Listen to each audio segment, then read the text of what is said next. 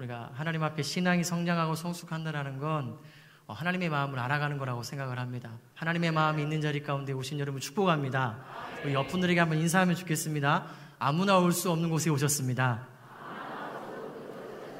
네, 여러분 그 마음으로 기도하고 그 마음으로 우리가 하나님의 은혜를 구할 때에 하나님 우리 가운데 특별한 기적으로 또 은혜로 함께 하실 줄 믿습니다. 이제 하나님 말씀 보겠습니다. 오늘 우리에게 주신 하나님의 말씀은 룻기 1장 1절부터 5절 말씀 그리고 22절 말씀입니다. 구약 성경 400쪽에 있습니다.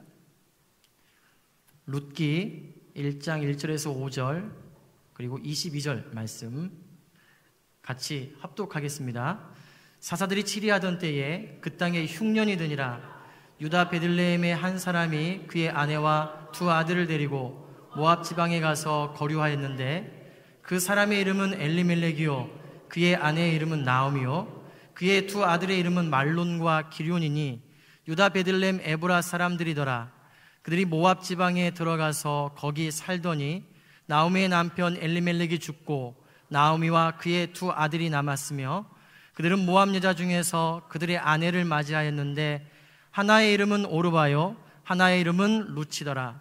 그들이 거기에 거주한 지 10년쯤에 말론과 기료온 두 사람이 다 죽고 그 여인은 두 아들과 남편의 뒤에 남았더라 22절입니다 나오미가 모압 지방에서 그의 며느리 모압 여인 룻과 함께 돌아왔는데 그들이 보리 추수 시작할 때에 베들레헴에 이르렀더라 아멘 흉년에서 풍년으로라는 제목으로 하나님 말씀 전하겠습니다. 오늘 우리가 읽은 본문을 보면 모든 것을 상실한 여인이 나옵니다. 바로 나오미라는 사람인데요. 나오미의 삶 가운데에 흉년이라는 인생의 고난이 찾아왔습니다. 1절을 보세요. 사다들이 치하던 때에 그 땅에 흉년이 드니라. 그런데 이 흉년의 고난은 나오미의 삶 가운데 고난의 시작이었습니다. 3절을 보세요. 나오미의 남편 엘레멜렉이 죽고 나오미와 그의 두 아들이 남았으며 흉년에 의해서 이제는 남편이 죽었습니다. 끔찍한 고난이죠. 그런데 고난이 거기에서 멈추지 않아요. 두 아들마저도 죽습니다. 5절을 보세요. 말론과 기리온 두 사람이 다 죽고 그 여인은 두 아들과 남편의 뒤에 남았더라. 흉년을 해결하기 위해서 즉 육신적인 것, 먹을 것을 해결하기 위해서 그렇게 안간힘 쓰고 치열하게 살아보겠다고 왔는데 오히려 남편도 죽고 두 아들마다도 죽는 더 큰 인생의 흉년을 만난 거죠. 완벽한 상실이고 완벽한 절망입니다. 그래서 나오미가 자신의 인생을 향해서 이렇게 고백합니다. 20절을 보시면요. 나오미가 그들에게 이르되 나를 나오미라 부르지 말고 나를 마라라 부르라. 이는 전능자가 나를 심히 괴롭게 하셨음이니라. 나오미의 이름의 원래의 뜻은 기쁨이라는 뜻입니다. 그런데 나를 기쁨이라 부르지 말고 마라라 부르라. 출애굽기 15장에 나오는 이야기인데요. 홍해를 건넌 다음에 이스라엘 백성들이 3일 동안 길을 걷습니다. 무더위 속에서. 그런데 마실 물이 없어요. 그런데 3일 길을 가다가 오아시스를 발견했습니다. 얼마나 기뻤겠어요? 사람들이 뛰어가서 물을 벌컥벌컥 마셨어요. 그런데 얼마 지나지 않아서 토해내기 시작했습니다. 왜냐하면 쓴 물이었기 때문입니다. 사람이 마실 수 없는 물이었기 때문에 그래요. 그래서 그 물을 마라라고 얘기합니다. 쓴 물. 그럼 이때 사람들의 반응을 한번 생각해 보세요. 살았다 싶었겠죠. 야, 이제 마실 물이 있구나. 야, 우리에게도 좋은 게 맞구나. 이런 생각이었을 거예요. 그런데 오히려 먹었더니 토해내더란 거예요. 지금 나오미의 심정이 그와 같다라고 생각합니다. 하나님을 향한 약간의 분노가 있었을 거라고 생각을 합니다. 하나님, 먹을 거 위해서 살고 싶어서 이 땅에 왔는데 남편 죽었습니다. 두 아들마저도 죽었습니다. 하나님, 어쩜 이럴 수 있습니까? 이런 분노 있죠. 그런데 여러분, 분노가 조금 더 지나가면 분노하다가 절망합니다. 이제 화도 안 내요. 그러면서 모든 게 끝났구나. 내 인생은 여기까지인가 보다. 라는 생각이 든다라는 거예요. 지금 나오미의 심정이라고 생각을 합니다. 그런데 룻기는 이처럼 비극으로 시작되었지만 비극으로 끝나지가 않습니다. 흉년으로 시작된 룻기는 풍년으로 끝이 납니다. 완벽한 상실, 완벽한 절망에 빠진 나오미의 삶을 새롭게 회복하시고 일으키시는 하나님의 일하심, 하나님의 놀라운 반전이 있다라는 겁니다. 22절 말씀 같이 한번 읽어보겠습니다. 22절 시작. 나오미가 모압 지방에서 그의 며느리 모압 여인 룻과 함께 돌아왔는데 그들이 보리 추수 시작할 때에 베들레헴에 이르렀더라. 여러분 이 말씀 속에서 나오미를 향한 하나님의 일하심이 보이십니까? 나오미가 자기 시 며느리인 룻과 함께 베들레헴으로 돌아오기로 작정했는데 그때가 언제였어요? 볼이 추수 시작할 때였어요. 하나님은 나오미를 위해서 흉년을 이겨낼 추수의 때를 이미 예비해 두고 계셨다라는 겁니다. 그래서 룻기 1장은요, 흉년으로 시작되었지만 끝내는 보리 추수로 끝이 납니다. 저는 지금 대한민국의 현실이 한국 교회가 처해진 어려움이 마치 나오미의 상황과 비슷하라고 생각을 합니다. 흉년도 모자라서 남편마저도 죽고 두 아들마저도 잃은 나오미의 삶이 오늘 대한민국의 현실이고 한국 교회의 아픔이라고 생각을 합니다. 소망보다는 절망이고요. 기쁨보다는 슬픔이고요. 빛보다는 어두움입니다. 그런데 그런 상황 속에서도 우리가 소망을 품을 수 있는 이유가 있어요. 그게 무엇입니까? 하나님의 일하심입니다. 그 처절한 현실 속에서도 하나님이 한국 교회를 붙들고 또 이 조국 대한민국을 붙들고 있다라는 겁니다. 나오미의 삶을 흉년에서 풍년으로 바꿔줬던 하나님께서 오늘도 그렇게 우리의 삶 속에서 일하고 계시다라는 겁니다. 우리의 삶에 여러분 원치 않는 흉년이 찾아옵니다. 그 누가 흉년을 원하겠어요? 그런데 어느 순간 찾아와요. 그때에 우리가 흉년 앞에서 해야 되는 건 흉년만 바라보는 것이 아니라 보리 추수의 때가 있다라는 걸 믿는 겁니다. 눈앞에 닥친 흉년만 바라보는 게 아니라 믿음의 눈을 들어서 보리 추수의 때를 준비하시는 하나님의 일하심을 보는 것 그것이 믿음입니다. 저는요 오늘도 제 삶 속에서 하나님이 일하시고 있다라는 걸 믿습니다. 그런데 때로는요 정말 하나님이 계시는가? 하나님 정말 날 사랑하시는가? 이런 의구심이 들 때도 있어요. 왜냐하면 하나님의 일하심이요. 여름날의 소낙비와 같은 장대비처럼 우리에게 나타나지 않아요. 어떤 때에는 그냥 새벽에 소리 없이 내리는 이슬과 같기 때문입니다. 분명 하나님이 우리의 삶에서 일하시는데 그래서 느끼지 못할 때가 있다라는 거예요. 그런 면에서 저는 시편 3편을 참 좋아합니다. 여호와여 나의 대적이 어찌 그리 많은지요 일어나 나를 치는 자가 많으니이다. 많은 사람이 나를 대적하여 말하기를 그는 하나님께 구원을 받지 못한다 하나이다. 시편 3편은 다윗이 아들 압살롬에게 쫓겨나면서 쓴 시입니다. 여러분 아들에게 쫓기고 있어요. 아들이 날 죽이려고 그래요. 여러분 정말 처절한 신세죠. 왕의 자리에서 도망자의 신세가 되어버렸습니다. 흉년입니다. 마라예요. 그런데 그 시간 속에서 다윗이 뭐라고 고백하냐면 3절을 보세요. 여호와여 주는 나의 방패시요 나의 영광이시요 나의 머리를 드시는 자이십니다. 하나님을 찬양합니다.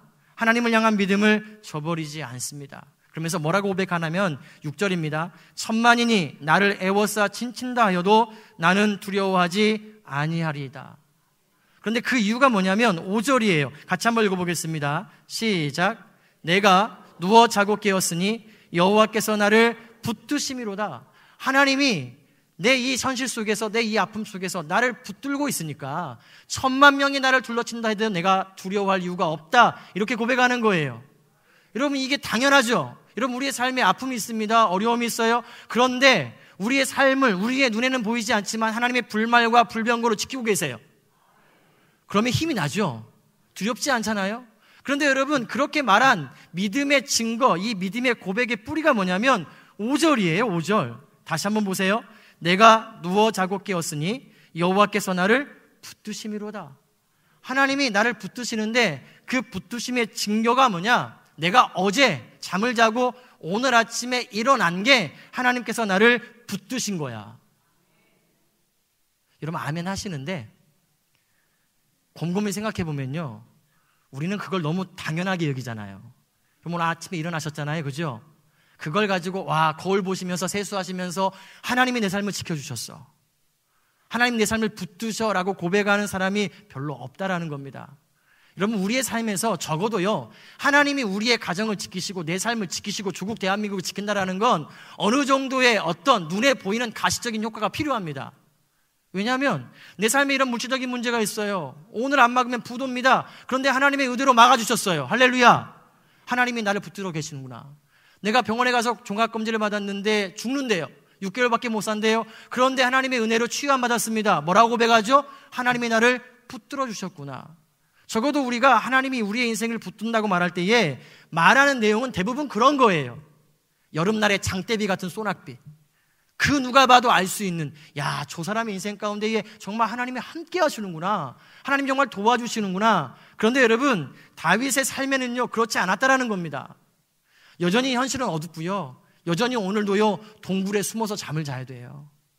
오늘도 그 사울의 위협 가운데에 오늘도 내가 죽을지 모르는 그 두려움 가운데에 오늘도 잠을 자야 된단 말이에요. 그러면 정말 하나님이 다윗을 지키신다라는 걸 확실하게 보여주려면 뭘 해야 되는 거죠? 사울을 죽여주셔야 됩니다. 사울의 위협 가운데에서 자기가 다윗이 벗어나야 돼요. 사울이 다윗을 찾아와서 다윗아 내가 잘못했다 미안하다 이제 우리 평화롭게 살자. 여러분 이렇게 해야 하나님이 내 삶을 붙들고 있다라는 걸 우리가 말할 수 있다라는 거예요. 그런데 다윗은 그런 일이 아니더라도 우리의 삶 속에서 내가 자고 누워서 일어난 거 그것이 하나님의 붙드심이라고 고백한다라는 거예요. 제가 오늘 집회를 그 참여하면서 이런 생각을 해봤습니다. 우리가 지금 나라와 민족을 위해서 또 한국 교회를 위해서 기도하기 위해서 모였습니다. 공휴일입니다. 10월 3일. 그렇죠? 쉽지 않잖아요. 그것도 다른 지역에서 오신 분들도 많습니다. 저는 이것 또한 하나님의 일하심이라고 생각합니다. 하나님이 우리를 붙들어 계시는구나. 하나님이 정말 조국 대한민국을 버리지 않으셨구나. 한국 교회가 다시금 새로워질 수 있겠구나. 여러분, 이 모임, 우리가 모여서 기도하는, 여러분, 우리가 모여서 기도한다고 대한민국이 벌컥 뒤집힐까요? 그럼 얼마나 좋겠어요, 그죠? 그런데 여러분, 그런 일이 안 일어난다 할지라도, 오늘도 우리가 하나님을 향해서, 우리의 믿음을 향해서 기도하기 위해서 모였다라는 것, 이것만으로도 하나님이 우리의 삶에서 일하시고 있다라고 고백할 수 있다라는 겁니다. 하나님의 일하심을 여러분 다른 말로 한다 그러면 헤세드입니다. 헤세드. 룻기의 중심은 헤세드입니다. 성경을 보니까 헤세드라는 이 단어를 은혜라고 자비라고 사랑으로 번역을 합니다. 그런데 저는요, 이 헤세드를 이렇게 정의하고 싶습니다. 뭐냐면 우리를 포기하지 아니하시고 끝까지 붙드시는 하나님의 사랑. 오늘도 우리의 삶을 지키시고 일하시는 하나님의 사랑. 그게 여러분 헤세드라고요. 룻기 2장을 보면 하나님의 헤세드의 사랑이 나옵니다. 딱 나오미하고요. 며느리인 룻이 보아스를 만나는 장면인데 여러분 이게 참 드라마틱합니다. 룻기 2장 3절을 보세요. 룻이 가서 베는 자를 따라 밭에서 이삭을 줍는데 우연히 엘리멜렉의 친족 보아스에게 속한 밭에 이를 얻더라. 성경이 여기서 뭘 강조하냐면 우연이에요. 이 룻이 시어머니 나오미를 따라가지고 베들렘에 왔습니다. 먹을 게 없어요. 그래서 남의 집에서 추수할 때에 이삭 줍기 하는 겁니다. 그런데 여러분 많고 많은 밭 가운데에 누구 밭에 갔어요? 보아스의 밭에 갔어요. 근데 성경은 그것을 우연히 갔다라고 얘기합니다. 또 룻기 2장 4절을 보면요. 마침 보아스가 베르, 베들레헴에서부터 와서 여기에서는 강조하는 게 뭐예요? 마침이에요. 딱 보리 줍기 하는 그때에 보아스가 조금만 늦어도 안 되고요. 조금만 빨라도 되지 않아요. 딱 그때에 왔어요. 여러분, 이게 정말로 우연히 일어난 일일까요? 하나님의 일하심인 줄 믿습니다. 헤스에드의 사랑이 이 나오미와 룻의 삶에 작동되고 있다라는 거예요. 사도 바울은 이 헤세드의 사랑을 로마서 8장에서 이렇게 고백합니다. 로마서 8장 35절, 36절인데요. 누가 우리를 그리스도의 사랑에서 끊으리요? 환란이나 곤고나 박해나 기근이나 적신이나 위험이나 칼이랴 기록된 바 우리가 종일주를 위하여 죽임을 당하게 되며 도살당할 양같이 여김을 받았나이다 함과 같으니라. 여러분 그 누구가 이 세상을 살아가면서 환란, 곤고, 박해, 기근, 적신, 위험, 칼 이러면 이것 고난 한 번 없이 인생을 살아가는 사람이 누가 있겠어요? 어찌 보면 인생은 반대잖아요. 고난의 연속이잖아요. 산 넘어 산입니다. 한치 앞을 모르는 게 인생이고 불안한 그 세상 속에서 마음 졸이고 마음 아프고 상하고 찢기고 무너지고 그러면 그게 우리의 삶이라는 거예요. 그런데 로마서 8장이 거기서 끝이 나지 않습니다. 그 다음에 대반전이 일어나요. 그 다음에 바울이 뭐라고 하냐면 로마서 8장 37절입니다. 같이 한번 읽겠습니다. 시작. 그러나 이 모든 일에 우리를 사랑하시는 이로 말미암아 우리가 넉넉히 이기느니라. 저는요, 이 그러나가 너무 좋아요. 있다고요. 믿음은 여러분 현실을 부정하는 게 아닙니다. 이깟 고난, 이깟 그거 아무것도 아니야. 여러분 이게 믿음이 아니고요. 믿음은요 현실을 직시하는 겁니다. 그런데 그 믿음 안에서 그 현실 속에서 나와 오늘도 일하시는 그 하나님을 보는 겁니다. 이 그러나를 보는 거예요. 하나님의 대반전을 보는 겁니다. 그래서 우리가 다시금 소망하고 일어날 수 있다라는 거예요. 저는 여기서 넉넉히 이기는이라 이 말씀도 너무 좋아요. 여러분 권투 경기 보셨습니까? 예전에 권투 경기를 하면 보통 12라운드까지 합니다. 12라운드까지. 그래서 어, 권투를 보면 어떤 선수가 KO 승으로 이길 때도 있고 어떤 때는 판정 승으로 이길 수가 있습니다. KO는 이 라운드가 되면서 이게 한방한방 해가지고 그 사람이 넘어졌는데 못 일어나는 걸 KO라 그러잖아요. 이렇게 하면 이기는 거고요. 판정은 12라운드를 끝까지 다 한 겁니다. 그리고 나서 누가 더 많이 때렸냐 이걸 보고 이 사람이 이겼다 이렇게 얘기하는 거예요. 여러분 12라운드가 다 끝난 다음에 판정패를 기다리고 있어요. 이 심판이 양쪽 사람의 손을 잡고 있잖아요. 그죠? 그손 드는 사람이 이긴 거예요. 그때 여러분 카메라가 그 두 선수의 얼굴을 비춥니다. 두 선수의 얼굴을만 보면요. 누가 이겼는지 모릅니다. 12라운드까지 겪어오면서요. 다 맞아가지고 얼굴 찢어지고 코피 나고 피멍 들고 그래가지고 얼굴 바라서서는 저 사람이 이겼을까? 저 사람이 이겼을까? 잘 몰라요. 근데 여러분, 우리가 하나님이 우리를 일하, 일, 이기게 하시는 게 뭐냐면 이렇게 판정패 이기긴 이겼어요. 그런데 거의 죽을 듯 하다가 이겼어요. 이런 거 말고요. 확실하게 1라운드 KO승. 하나님께서 우리 가운데 그렇게 넉넉히 이기게 하신다라는 겁니다. 그러므로 여러분, 우리 가운데에 오늘도 하나님이 현실 가운데는 어렵지만 이 현실 속에서 나를 붙들고 한국교회를 붙들고 또 조국 대한민국을 붙들고 있다는 이 믿음이 우리에게 필요하다라는 겁니다. 하나님은요, 우리가 기도할 때 우리의 인생을 한순간 꽃밭으로 만들어주지 않습니다. 사막 같은 우리의 인생 가운데에 꽃 한 송이를 피워주세요. 그때 마귀는 또 이렇게 정죄하죠. 뭐라고요? 극각 꽃한 송이. 아, 극각 꽃한 송이. 오늘도 여러분 보세요. 너희들이 기도한다고 나라가 바뀔 것 같아? 그렇게 광화문에서 시위한다고? 여러분 그런 생각 한단 말이에요. 마귀는 우리, 오늘도 우리에게 그렇게 정죄한단 말이에요. 여러분 그때에 맞아요. 꽃 한 송이일 수 있어요. 그런데 여러분 그 꽃 한 송이를 보시면서 하나님의 일하심을 보는 게 믿음입니다. 그게 믿음이에요. 그 믿음을 가지고 우리가 주님 앞에 계속해서 치열한 믿음의 싸움을 살아갈 때에 어느 순간 하나님은요, 그 꽃 한 송이를 통해서 우리의 인생을 정원으로 만들어 가시더라는 거예요. 그래서 여러분, 지금 우리의 현실 속에서 꽃 한 송이 피었습니다. 뭘 해야 됩니까? 감격하셔야 됩니다. 꽃 한 송이 피었다. 이 사막 같은 이 조국 대한민국 현실 속에서 꽃이 피었다. 한국 교회가 다 무너지는데 기도하는 사람들이 생긴다. 여러분, 그런 거요. 그래서 감격하고 놀이하고 찬양할 때에 우리의 삶 속에도 인생에도 풍년이 찾아온다라는 겁니다. 그런데 여기서 우리가 꼭 기억해야 되는 게 뭐냐면 흉년이 자동적으로 풍년이 되는 건 아니라는 거예요. 흉년이 풍년되기 위한 조건이 있습니다. 그게 뭐냐? 회개입니다. 하나님께 돌이키는 거예요. 1절을 보세요. 사사들이 치리하던 때에 그 땅에 흉년이 드니라. 룻기의 배경은 여러분 사사시대입니다. 사사시대는 타락, 징계, 회개, 회복이라는 이 네 가지의 사이클이 지긋지긋하게 350년간 흘러갑니다. 하나님이 이스라엘 백성들을요, 복 주세요. 그러면 이들이 타락합니다. 그러면 하나님이요, 징계하세요. 그럼 또 회개하세요. 회개합니다. 그럼 또 하나님이 회복시켜 주세요. 이 사이클이요, 350년간 가는 거예요. 이러한 시대에 베들레헴에 엘리멜렉, 나오미의 남편입니다. 엘리멜렉이 살고 있어요. 그런데 베들레헴에 흉년이 들었습니다. 그럼 베들레헴의 뜻이 무엇이냐면 빵집입니다. 빵집. 그럼 빵집, 베들레헴에 흉년이 들었다는 말은 그럼 뭘 의미하는 거죠? 빵집에 빵이 없다라는 겁니다. 여러분 이상하죠? 여러분 한국은행에 돈이 하나도 없다라는 것과 똑같은 말이에요. 그러니까 말도 안 되는 일이 일어난 겁니다. 여러분 왜 이런 일이 일어났을까요? 말도 안 되는 일 왜 일어났을까요? 사사시대라고요. 말도 안 되는 일이 사사시대 속에서 지금 일어났어요. 그러면 이게 무엇입니까? 하나님의 심판입니다. 하나님의 심판이에요. 하나님이 심판하셨어요. 뭐 하라고요? 돌아오라고요. 회개하라고요. 회개의 사인입니다. 그런데 이 엘리멜렉과 나오미는 이 사인을 거부합니다.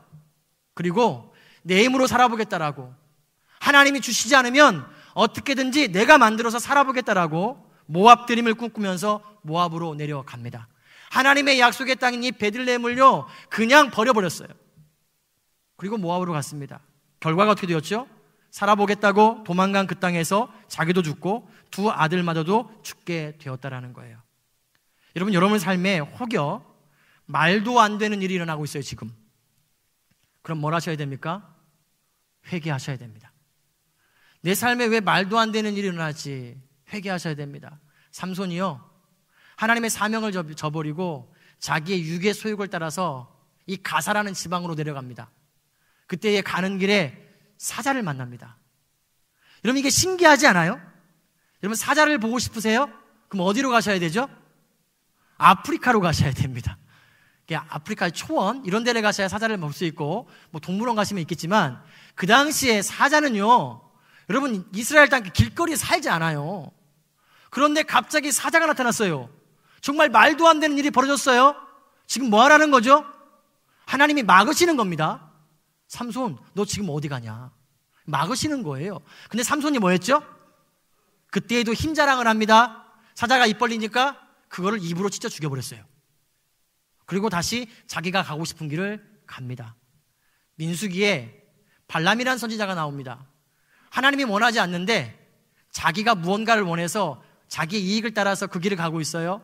그러니까 자기 이 발람 선지자를 태운 나귀가요 말을 안 들어요. 말을 한 번도 말 듣지 않은 말을 듣지 않은 적이 없는데 말을 안 들어요. 그래서 매를 때리기 시작합니다. 그랬더니 갑자기 또 신기한 일이 벌어지죠. 나귀가 말을 해요. 그러면서 뭐라고 하죠? 나를 나를 왜 때리십니까? 내가 지금까지 주인의 명을 어긴 적이 있습니까? 막 그런단 말이에요. 그러면 신기하죠. 말도 안 되는 일이 지금 벌어졌단 말이에요. 그러면 뭘 생각해야 된다고요? 혹여 내가 하나님 앞에 잘못한 것이 없는가를 봐야 돼요.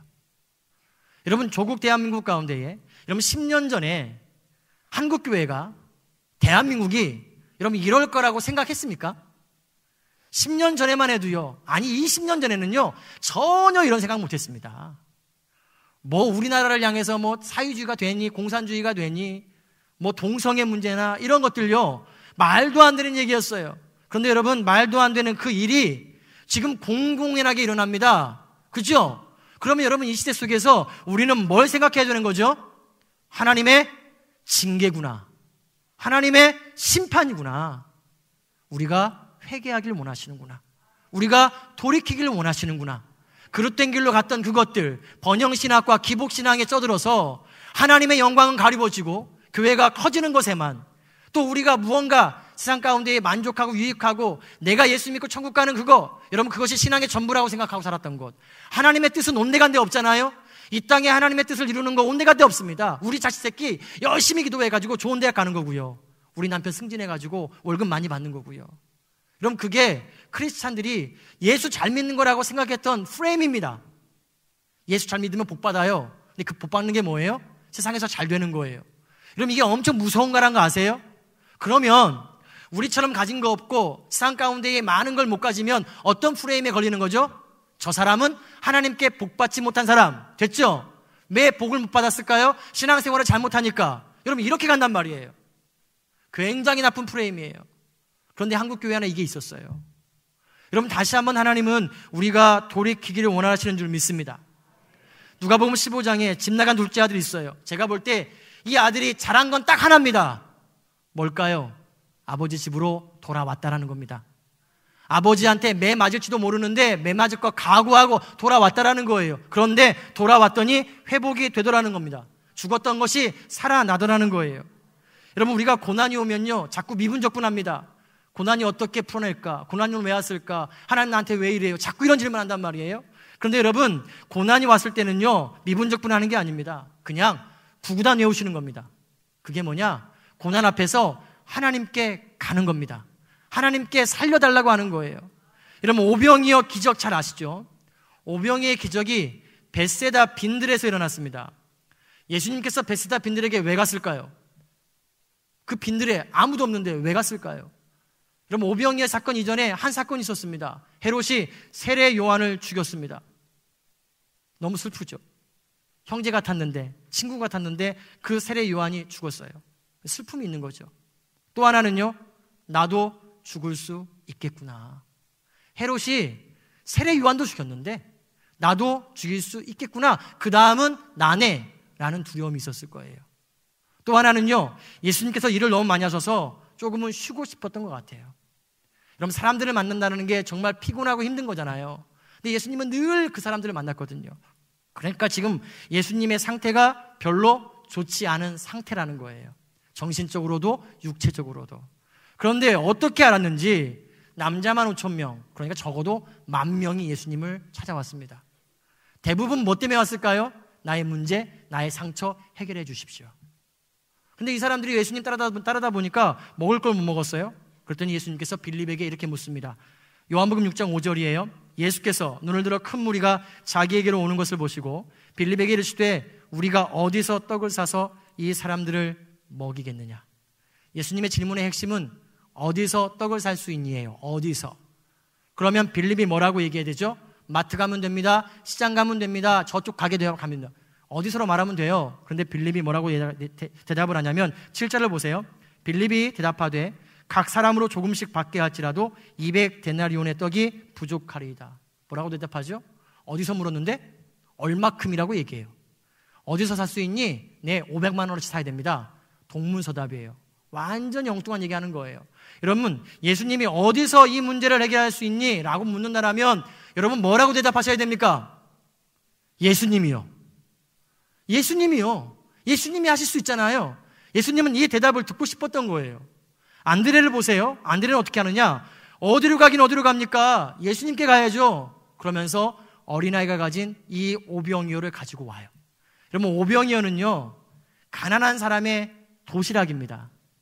여러분, 학창시절에 밥하고 김치만 싸가지고 도시락 싸가지고 본 적 있으세요?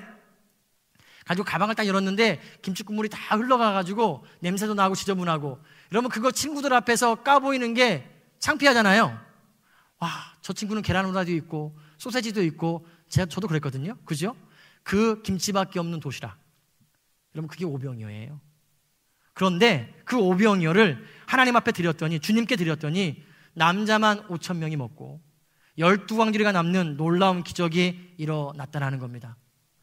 저는요 갈수록 저도 뭐 젊은 목회자인데 우리 청년들을 봐도 그렇고 안타까운 게 뭐냐면 참 많이 알아요. 성경도 참 많이 알아요. 이것저것 정말 잘 알아요. 뭔 얘기를 하면 우리 청년들이 되게 잘해요.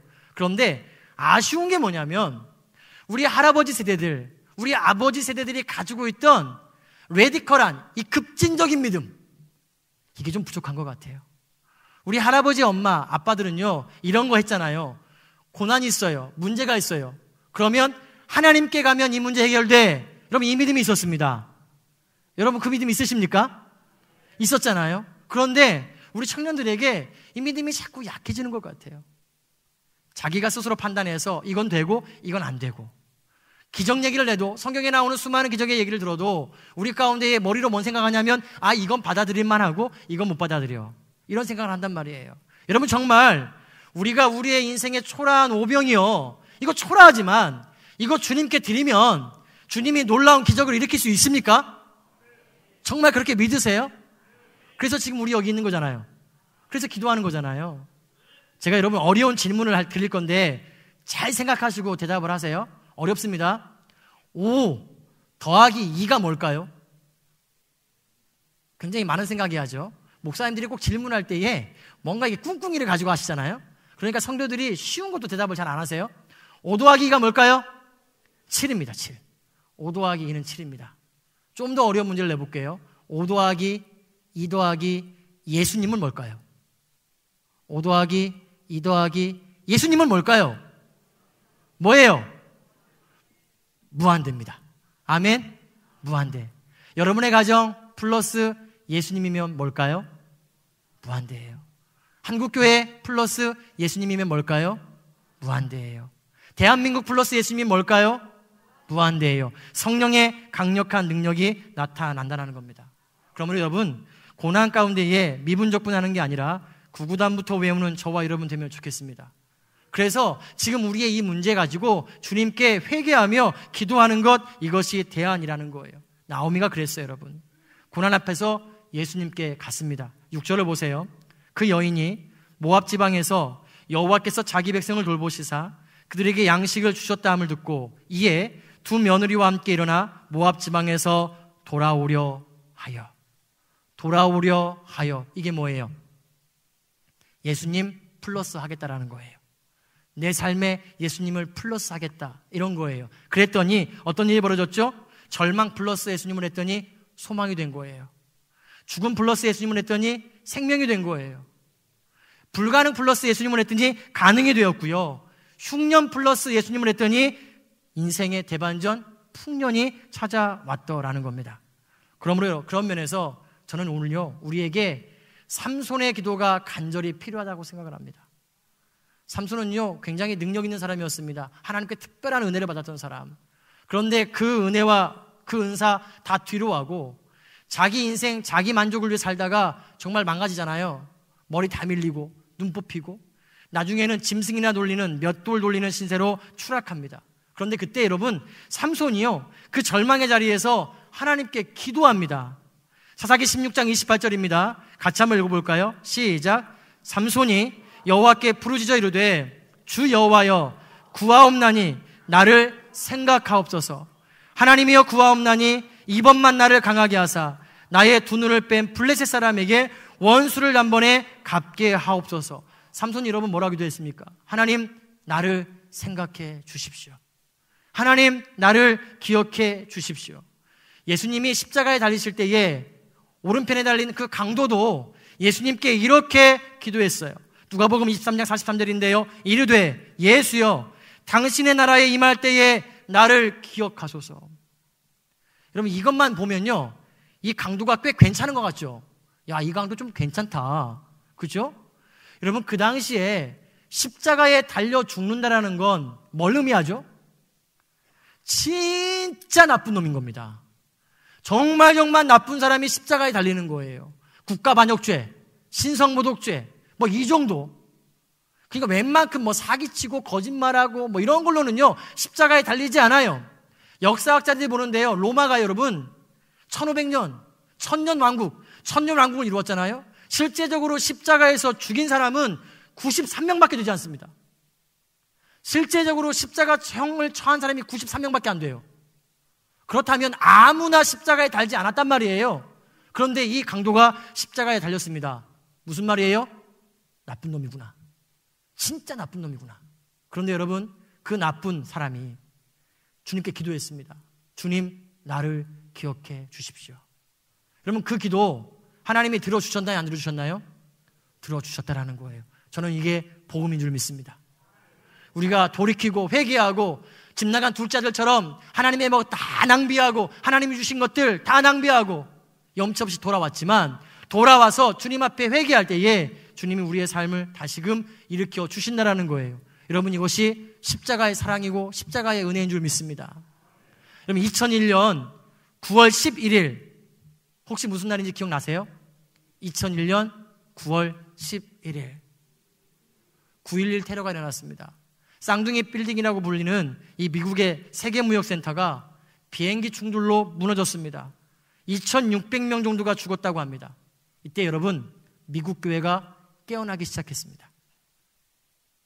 정말 교만했던 미국 교회가, 기고만장했던 교회가 어쩌면 하나님 없이도 우리는 잘할 수 있다라고 대놓고 말은 하지 않았지만 그런 모습들이 보였는데 여러분 9.11 테러 이후에 이 미국 교회 안에 회개 운동이 일어났습니다. 말도 안 되는 일이 일어났잖아요, 지금요.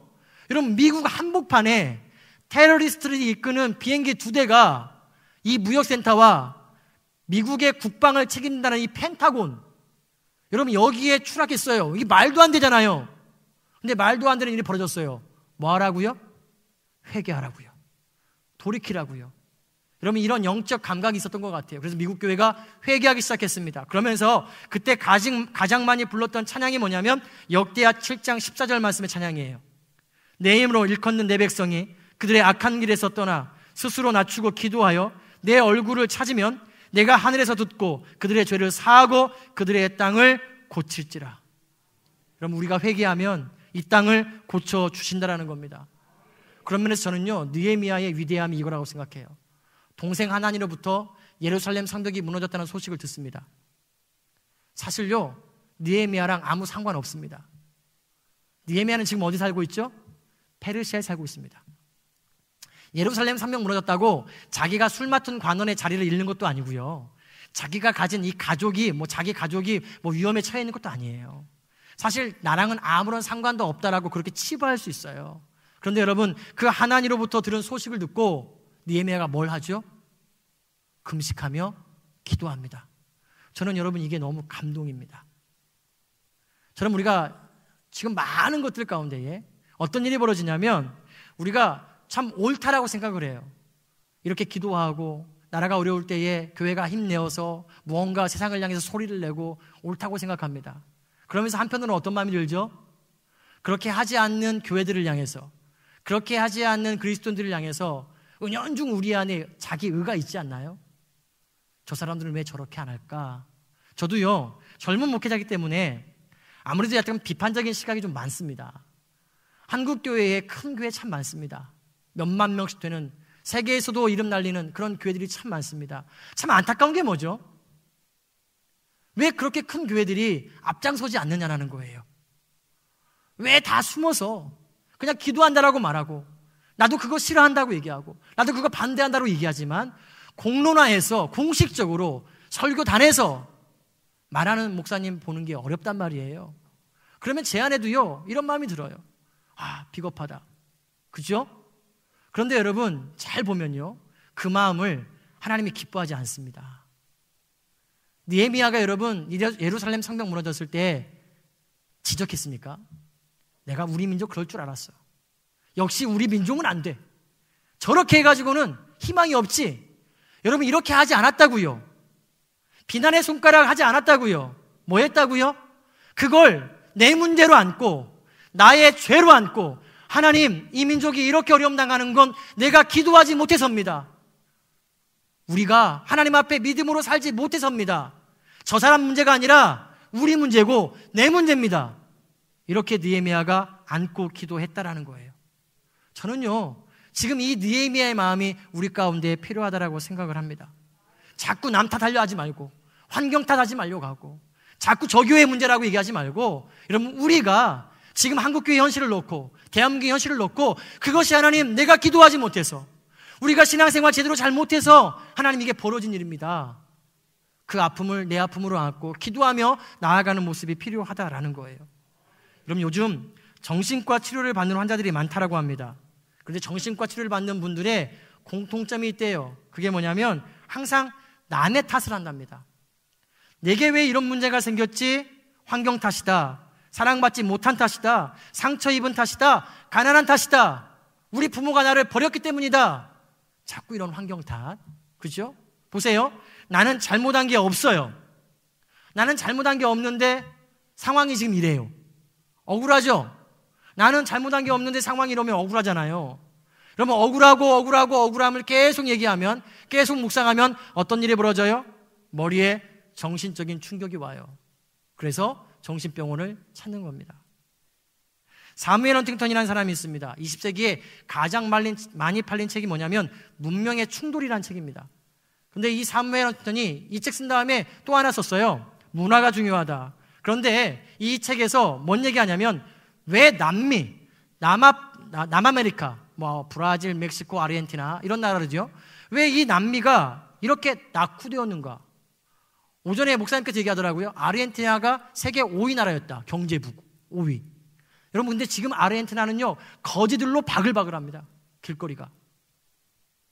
왜 그렇게 되었는가? 사무엘 헌팅턴이요. 이렇게 지적했습니다. 왜냐하면 그것이 남의 탓으로 돌리는 문화 때문이다. 이 사람들이 이렇게 생각하는 거예요. 왜 우리나라가 이렇게 못 살게 되었는가? 미국 때문이다. 제국주의 때문이다. 그 문제의 원인을 스스로 분석하지 않아요. 자기 내부에서 찾지 않아요. 자꾸만 외부에서 찾았어요. 그랬더니 결과가 어떻게 됐다고요? 더 가난해지더라는 겁니다.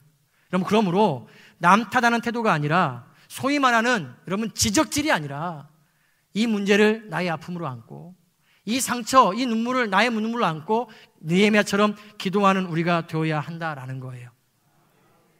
제가 한동안 고민했던 제 안에 고민의 내용이 있었습니다. 뭐였냐면 아는 게 힘일까? 모르는 게 약일까? 이거였어요. 여러분 이거 지금 감 잡았어요? 제가 왜 고민했는지? 아는 게, 여러분 아는 게 힘이죠? 모르는 것도 약이죠? 그럼 아는 게 힘일까요? 모르는 게 약일까? 이게 참 그랬어요.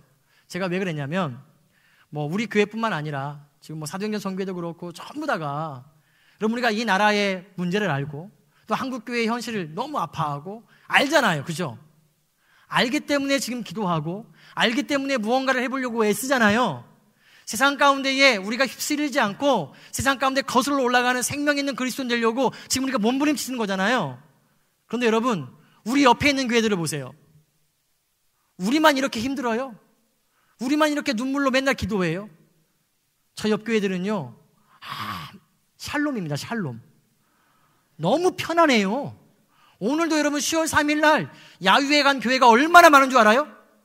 오늘도 운동장에서 체육대회 하는 교회가 얼마나 많은 줄 알아요? 우리만 지금 광화문에서 날씨도 더, 오늘 더웠어요, 조금. 더운데 가고 또 모여서 공휴일인데 이렇게 모이고. 그래서 아는 게 힘일까? 모르는 게 약일까? 그냥 차라리 모르고 그냥 맘 편하게 그냥 신앙생활 하면 야, 이것도 괜찮겠다. 이런 마음에 그런데 여러분, 아무리 곰곰이 생각해봐도 모르는 게 약이지 않을 것 같죠? 아멘! 여러분, 아는 게 힘입니다. 그래서 여러분, 역사를 봐도, 교회의 역사를 봐도, 복음의 역사를 봐도요, 하나님은요, 다수를 사용하지 않았습니다. 다수를 통해서 교회가 세워지고 성령의 역사가 일어난 적은 거의 없습니다. 전부 다요, 마이너였어요. 소수였어요, 소수. 내 깨어있는 그 소수들이 세상을 변화시키고 한국 교회가 지금까지 오도록 지켰고요. 지금도 복음의 능력이 나타나더라는 거예요. 저는 믿습니다. 오늘도 정말로 깨어서 기도하는 이 소수의 사람들, 오늘도 이 문제가 나의 문제라고 안고 니에미아 영성을 가지고 주님 앞에 나아가는 우리 모두를 통해서 하나님이 이 땅을 치유하실 줄 믿습니다. 한국 교회에 새로운 바람이 불 수 있다는 거예요. 그런가 하면요, 우리에게 필요한 게 뭐냐면 순교적 영성입니다. 여러분, 우리가 살아가는 세상이요, 마치 골리앗 같습니다. 우리의 믿음을 무너뜨리기 위해서 얼마나 공격하는지 몰라요. 여러분 다윗의 인생 가운데는 골리앗이 딱 한 번이었습니다. 다윗 불었습니다. 골리앗 한 번이었다고요. 여러분 우리의 인생에는요. 골리앗이 수도 없이 등장합니다. 어떤 때는 정치라는 이름으로, 어떤 때는요 문화라는 이름으로요. 또 어떤 때는 인권이라는 이름으로요. 골리앗이 등장해요. 이놈이 이겼다 싶으면 또 나타나고요. 또 이놈이 이겼다 싶으면 또 나타나요. 수도 없이 많은 골리앗을 만나고 그 골리앗 가운데 대항하며 살아야 돼요. 여러분 동성애 문제 보십시다. 우리나라 여러분 동성애가 위법입니까? 동성애 한다고 감옥 갑니까? 위법 아닙니다. 아무리 양보하고 양보해도요. 정말로 그 사람들 입장에서 생각해 보려고 해도요. 동성애를 왜 합법화하려고 그러죠? 위법도 아닌데. 그거 한다고 감옥 가는 것도 아닌데. 그런데 여러분, 차별금지법이라는 게 뭔지 아십니까? 동성애 한다고 감옥 가지 않습니다. 그런데 차별금지법은 뭐냐면 이제는 동성애 하는 사람들에게 그게 죄라고 얘기하면 감옥을 가야 됩니다. 좀 이상하지 않아요? 이상하잖아요. 그러면 왜 여러분 세상은요 이 인권이라는 탈을 쓰고 왜 이렇게 우리에게 다가올까요? 여러분 그 뿌리를 보면요 성경이 성경되지 못하게 하기 위함입니다. 진리가 진리되지 못하게 하기 위함이에요. 여러분, 동성애 합법화되면 여러분 레위기 말씀, 로마서 말씀, 성경에 나오는 동성애가 죄라는 말씀 설교를 못한다 그러잖아요. 설교하면 벌금 낸다잖아요. 그럼 여러분 우리는 그 성경을 풀칠해야 됩니다. 풀칠. 딱 붙여가지고 혹시나 실수라도 보면 안 되니까. 여러분 그러면 성경이 성경일 수 있습니까? 이건 맞고 이건 틀리고. 여러분 우리가 가지고 있는 이 성경이 하나님의 말씀이라고 여러분 믿으십니까? 이게 여러분 진리라고 믿으십니까? 그런데 이 한 부분은 진리가 아니에요. 그러면 여러분 이게 진리일 수 있습니까? 그럴 수 없다라는 거예요. 여러분 동성애 우리가 양보하면요. 하나씩 하나씩 더 양보해야 될 겁니다. WCC 문제를 봅시다. WCC 괜찮았습니다. 처음에 의도 좋았어요. 교회가 이렇게 갈라지지 말고 장로교, 뭐 감리교, 뭐 친례교 이러지 말고 교회가 하나 되자. 좋죠, 의도가. 그래서 실제적으로 남인도 같은 경우에는요, 교회가 하나 되었습니다. 그래서요, 인도 장로교회, 인도 침도교회, 이런 교회 없고요. 전부 다 그냥 인도교회였어요, 인도교회. 좋았습니다. 그런데요, 이 상아리만큼요, 교회가 조금씩 조금씩 진리를 양보하는 데에 익숙해졌어요. 종교 간에 대화를 하재요. 했던 이유는 이렇습니다. 저 사람들에게 복음을 전해야 하니까. 됐죠? 동기는 아주 좋아요. 그런데 여러분 그 일 가운데에 뭘 해야 되냐면 저 사람들은 양보하지 않는데 자꾸 우리만 양보해야 돼요. 왜 예수 에는 구원이 없냐? 그 양보하래요. 여러분 다른 종교는요. 이거 양보하는데 별로 어려움이 없습니다. 범신론이잖아요. 얘도 신이고 너도 신이고 다. 대부분 그래요. 이슬람 빼고. 대부분 다. 그러니까 어려움이 없어요. 그러다 보니까 자꾸 우리에게 양보하래요. 그러다 보니까 어떤 일이 벌어졌죠? 말도 안 되는 일이 벌어진 거죠. 예수 외에도 구원이 있다. 불교에도 구원이 있고, 저기에도 구원이 있고, 다 있다. 여러분, 이런 거예요. 그러므로 이 시대 가운데 여러분, 우리가 어떻게 살아야 하는가? 순교적 영성으로 무장하셔야 됩니다. 다윗의 영성이 우리 가운데 필요하다라는 거예요. 골리앗 같은 세상이지만 절망만 하지 말고 우리 가운데에 싸움이 필요하다라는 겁니다. 그럼 나오미를 룻을 보세요. 룻이 나오미를 따라 가지고 베들레헴에 왔습니다. 낯선 땅입니다. 아무도 아는 사람이 없어요. 문화도 틀리잖아요. 국경을 넘어왔습니다. 절망적인 현실이에요. 그런데 여러분 나오미가 절망만 얘기했습니까? 골리앗 같은 세상이다. 우리는 할 수 없어. 이랬나요? 그러지 않습니다. 이삭 죽기를 했습니다. 비록 남의 밭이었지만. 근데 그 이삭 죽기를 한 그때에 하나님이요 그의 인생 가운데에 놀라운 은혜를 부어 주셨다라는 거예요. 그런 면에서 저는요 지금 이 골리앗 같은 시대 속에서 우리가 해야 되는 게 뭐냐? 영적인 이 이삭 죽기. 정말 현실은 골리앗이지만 우리가 뭐 한다고 될까? 라는 절망의 마음이 든다 할지라도 여러분 그때에 다윗의 영성으로 나아가야 한다라는 거예요. 여러분 다윗이 골리앗을 향해서 날려갔던 이유 아십니까? 세상에서 출세하고 싶어서요?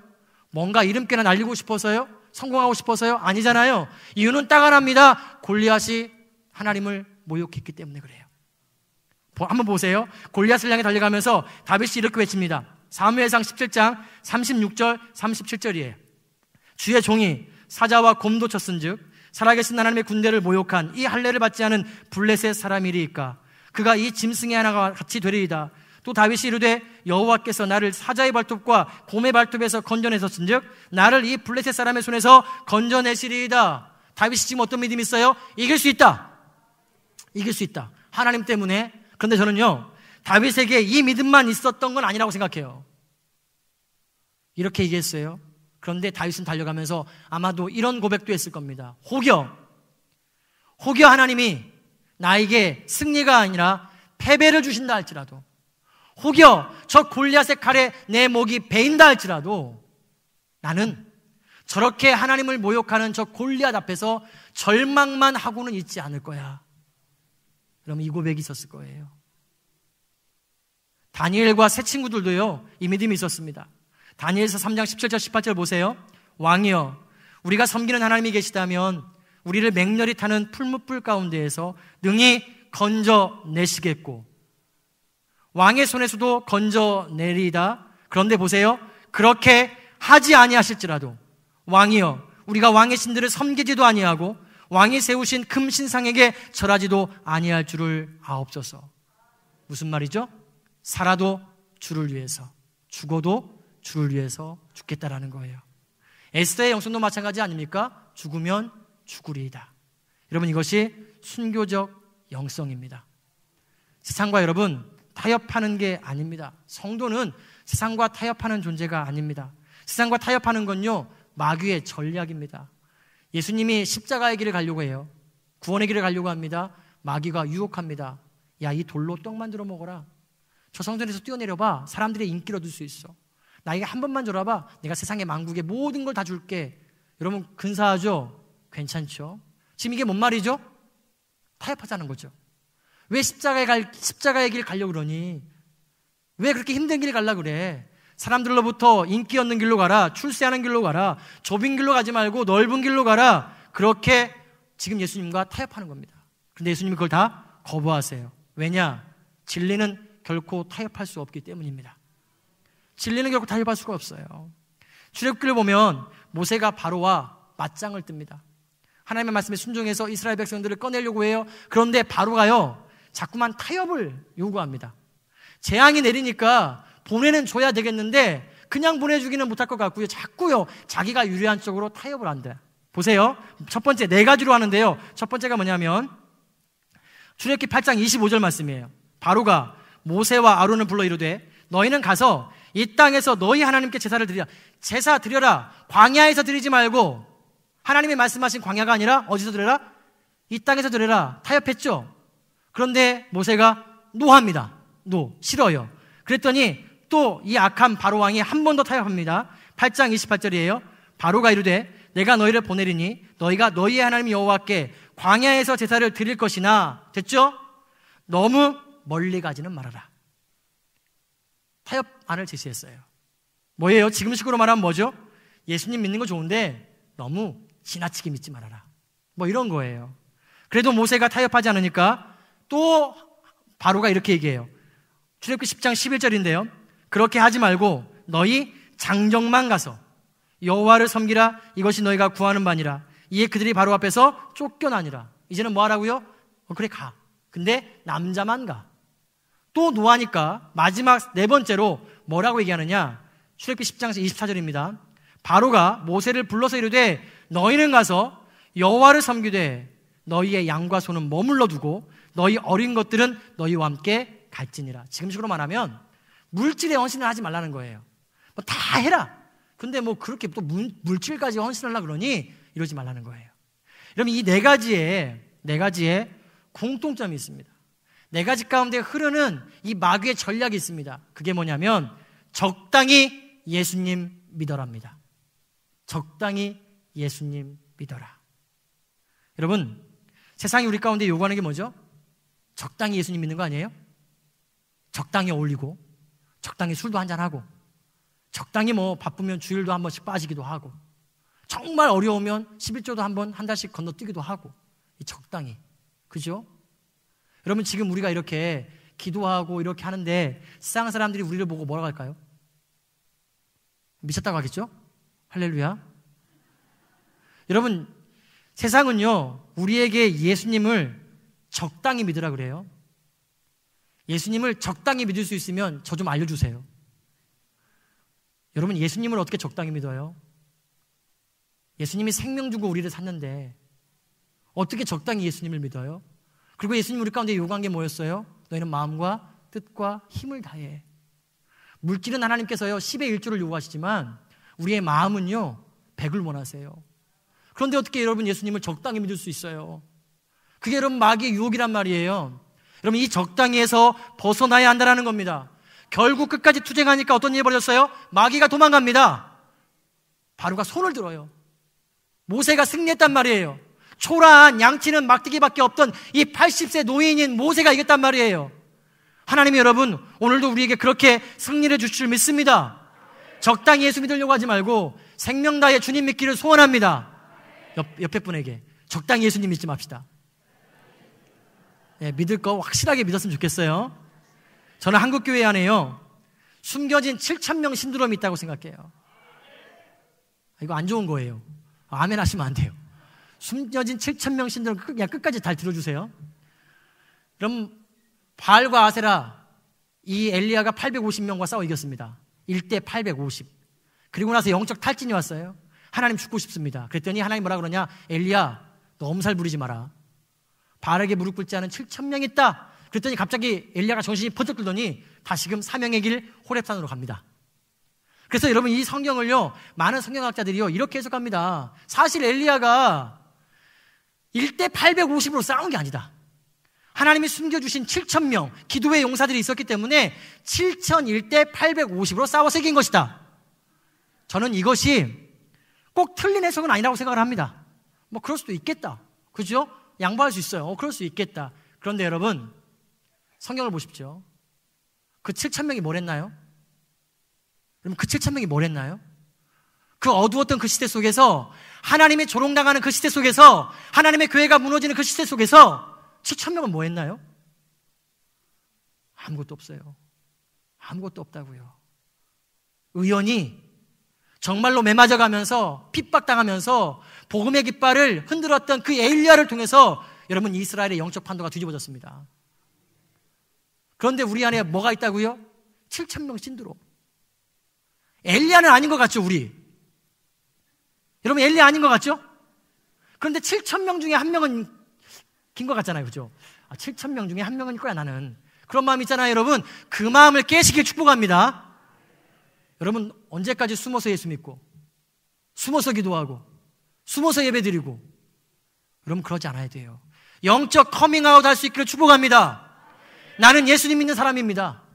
그게 여러분 자랑이어야 됩니다. 제가 우리 청년들에게 도전했거든요. 야, 비겁하게 예수 믿지 말아라.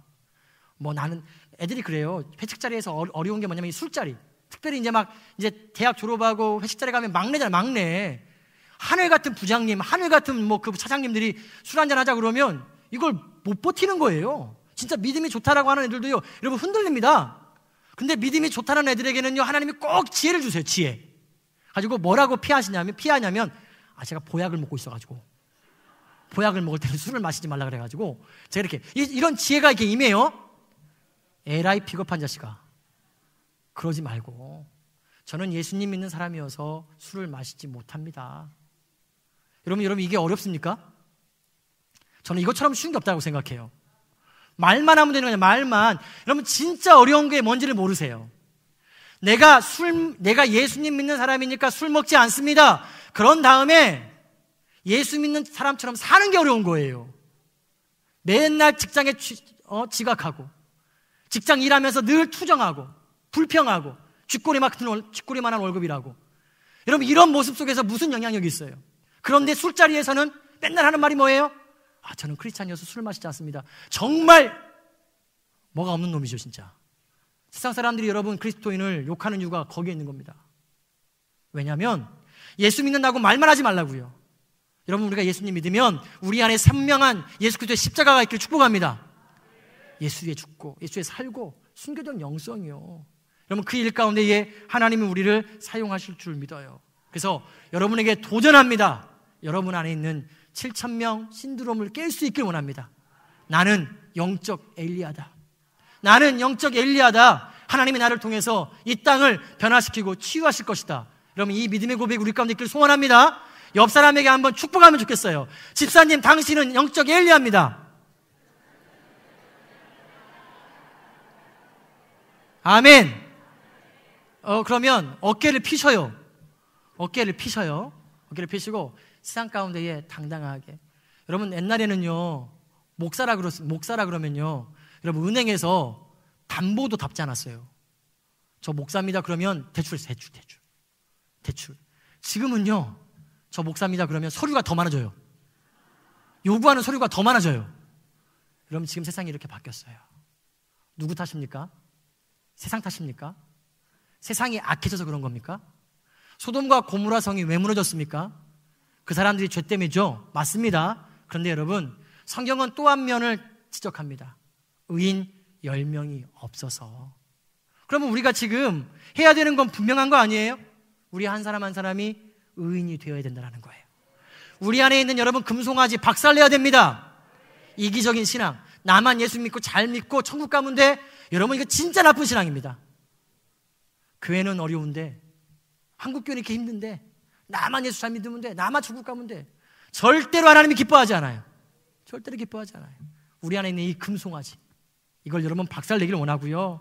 또 하나, 자꾸만 예수님을 내 편으로 만들려고 하지 말고요. 내가 예수님 편이 되는 겁니다. 그거 하는 거예요. 그게 여러분 예수를 믿는 겁니다. 저는요, 확신합니다. 세상이 아무리 어렵고 골리앗 같다 할지라도요, 단 하나의 교회만 살아있어도 이 땅엔 소망이 있습니다. 단 하나의 교회만 살아있어도 이 땅에 소망은 있습니다. 여러분, 이게 하나님 가운데 주신 마음이에요. 여러분에게 도전합니다. 그 단 하나의 교회, 여러분이 되어주시기를 축복합니다. 그 교회가 내가 되길 원합니다. 하나님. 오늘도 그렇게 간구하는 저와 여러분 되길 원해요. 말씀 정리하겠습니다. 우리 청년들과 자주 부르는 찬양이 있습니다. 그리스도의 계절. 오늘도 불렀죠? 그리스도의 계절. 이 찬양은 그 한국 대학생 선교회 CCC라 그러죠. 고 그 대표시였던 고 김중곤 목사님께서 쓰신 시를 곡으로 만든 겁니다. 근데 이 곡을 쓰게 된 배경이 있더라고요. 하루는 목사님이 민족 복음화의 꿈을 가지고 기도했어요. 근데 기도하는데 자기의 기도 가운데에 이런 고백이 터진 겁니다. 터진 겁니다. 어머니처럼 하나밖에 없는 내 조국. 어디를 찔러도 내 몸같이 아픈 내 조국. 이 민족 마음마다, 가정마다, 교회마다, 사회의 구석구석, 금수강산, 자연 환경에도 하나님 나라가 임하게 하시고 뜻이 하늘에서처럼 이 땅에서 이루어지게 하옵소서.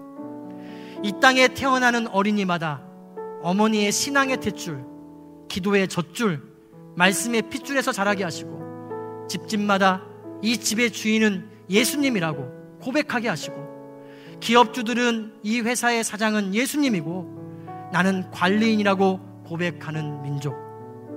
두메마을 우물가의 여인들의 입에서도 공장의 직공들, 바다의 선원들의 입에서도 찬송이 터져 나오게 하시고 각급 학교 교실에서 성경이 필수 과목처럼 배워지고 국회나 가기가 모일 때도 주의 뜻이 먼저 무너지게 하시고 국제시장에서 한국제 물건들은 한국인의 신앙과 양심이 을의 보증수표처럼 믿어지는 민족. 여호와를 자기 하나님으로 삼고 예수 그리스도를 주로 삼으며 신구약 성경을 신앙과 행위의 표준으로 삼는 민족. 민족 의식과 예수 의식이 하나가 된 지상 최초의 민족. 그리하여 수십만의 젊은이들이 예수의 꿈을 꾸고 인류 구원의 환상을 보며 한 손에는 복음을 다른 한 손에는 사랑을 들고 지구촌 구석구석을 누미는 거룩한 민족이 되게 하옵소서. 여러분 이 마음으로 곡을 만들었어요. 사랑하는 성도 여러분, 지금 우리는 어려운 시대를 살고 있습니다. 아픈 시대를 살고 있습니다. 2019년 10월 3일 오늘 우리가 대한민국에 살고 있다라는 건 하나님의 시대적 부름이 있는 줄 믿습니다. 여러분 하나님의 시대적 부름을 외면한 복음은 복음이 아닙니다.